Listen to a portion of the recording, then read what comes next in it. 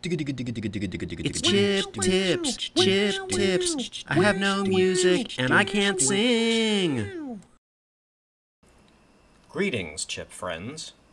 I'm working on a part of the Retro Computer's front panel that can read and write memory through switches.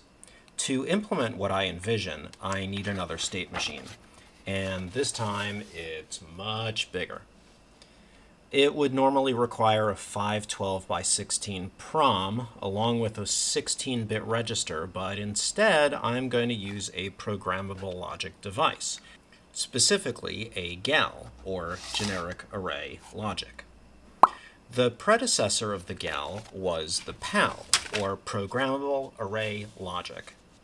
It was introduced in 1978 by Monolithic Memories whose databook featured this cheeky little dude. The PAL was an array of AND gates, followed by an array of OR gates and inverters, which could get you most combinatorial logic that you wanted.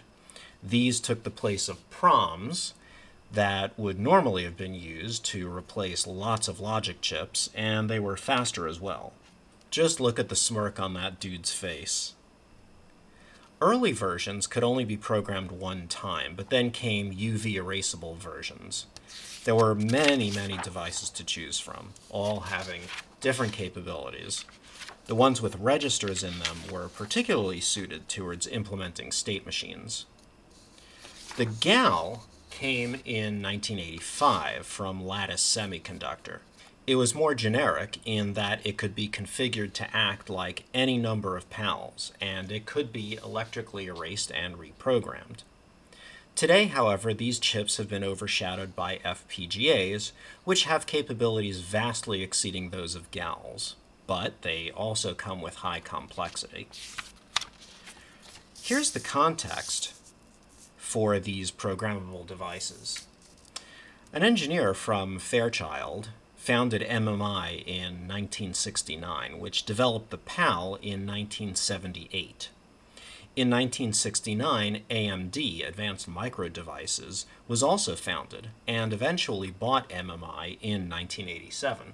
Meanwhile, an engineer at Intel founded Lattice in 1983, which developed the GAL in 1985. Amusingly, AMD spun off its programmable device business as a wholly owned subsidiary in 1996 called Vantis. It didn't last long, and Lattice bought it up in 1999. Today, in the programmable logic space, we still have Lattice, along with Xilinx and Altera, founded in 1983 and bought by Intel in 2015. Now, nobody sells PALs or GALs anymore except for Atmel, which sells two different kinds, the popular 16V8 and 22V10. Atmel, by the way, lasted from 1984 all the way up to 2016 when they were bought by Microchip.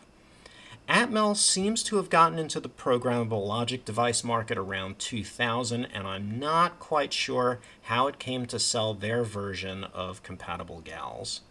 Anyway, aside from these Atmel chips, you can also find surplus GALs on eBay. Okay, I'm going to be using 22V10s to implement my state machine. A 22V10 has 22 I.O. pins, and at most 10 of these pins can be configured as output pins. A 16V8, on the other hand, has 16 I.O. pins, and at most 8 of these can be configured as output pins. Since my state machine has 9 inputs and 13 outputs, I need to use 2 of any of them. Atmel 22V10s are currently US 176 each, while 16V8s are 96 cents each. The much bigger difference, though, is that the outputs of the 16V8 are limited to eight and terms. If any output in your logic requires more than eight and terms, you have to go to a 22v10, and that's where I'm starting. I can always change to the smaller device later. So suppose you have your logic equations done and you've formatted them in terms of products or logical ands. Of inputs and inverted inputs, and then sums or logical ORs of those. Now, you need to determine which fuses to program in the device. The product terms are easy. Each input and inverted input has a line going vertically. Every available product term has a line going horizontally. Just program the fuses at the intersections and you have your product terms. Of course, not every product term goes to every output, so you have to carefully select which lines you need. The sums of the product terms are carried out by the output logic blocks. You also configure the output logic blocks to be either registered or not, inverted or not, tri-stated or not, and whether there should be internal feedback. This configuration is done through more fuses. There's also one product term on the chip for an asynchronous reset and another for asynchronous preset. So now, presumably you know the state that you want all the fuses on the chip to be. How do you program that? None of the chip manufacturers publish their programming algorithm. Instead, only revealing them via non-disclosure agreements with programmer manufacturers. Over the years, people have figured out how to program pals and gals anyway, so you could go that route and Google for programmer circuits. Or you could just use an existing programmer, as long as it supports the chip you want to program. The Mini Pro I have doesn't support the Atmel chips, and given their non-responsiveness to requests, I got another programmer. This is the Wellon VP598, which does support the Atmel chips someone really, really needs to make an open hardware programmer collecting all the known chip programming algorithms, and that also lets you specify your own algorithm. Anyway, the standard file format for fuses is JEDEC standard 3C, linked down below.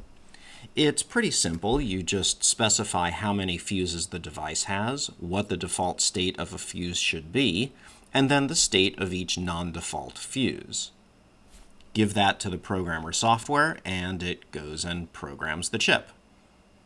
Now, since PALs and GALs are pretty much obsolete, the software to generate the JEDEC files is also obsolete, except for WinCUPL, which is distributed by Microchip, linked down below. It's Windows only. Basically, you put in the logic equations you want, and it minimizes the logic and then generates the JEDEC file for you. There are open source Boolean minimizers available, so you could write your own software, but WinCUPL is somewhat convenient. We start with a few informational fields, and then we specify the signal names for the pins. Remember that you can configure each output as inverted, so the bang in the signal name indicates that. The minimization software should figure out for itself whether to use the output blocks inverter, so that if there are too many product terms with the inversion, it can try to invert the logic all the way back to the inputs to see if there might be fewer product terms that way. Anyway, we can declare fields, which are just lists of I.O. signals. We can define constants.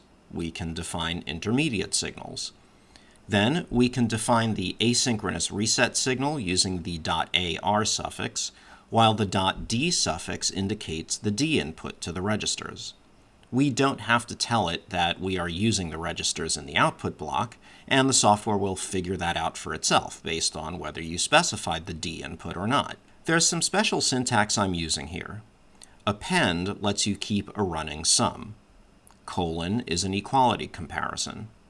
Note here that I'm setting all four state outputs according to one Boolean ANDed with a constant pattern. Doing this for each output individually would be a pain.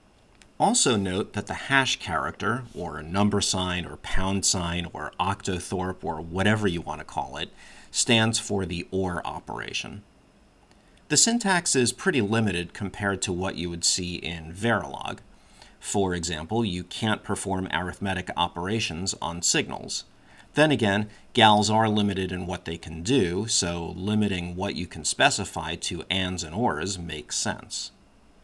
There is more specialized syntax for state machines, but I decided not to use that because my state machine is split across two chips, and it made more sense to me to use a consistent method.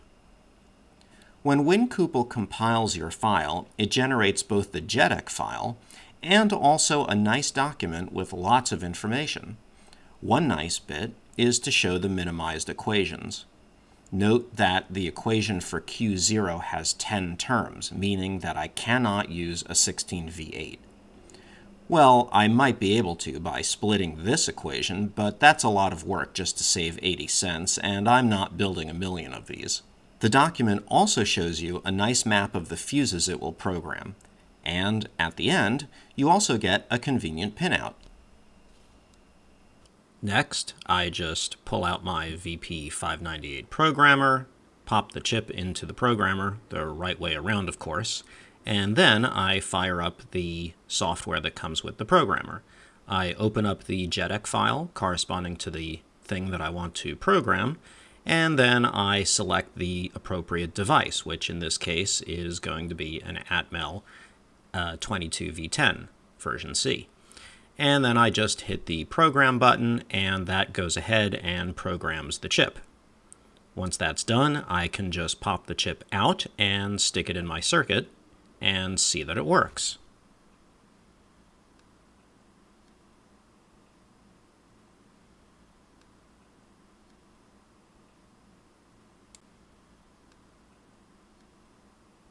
And that's all there is to programming a GAL. It's chip tips, chip tips. I have no music and I can't sing.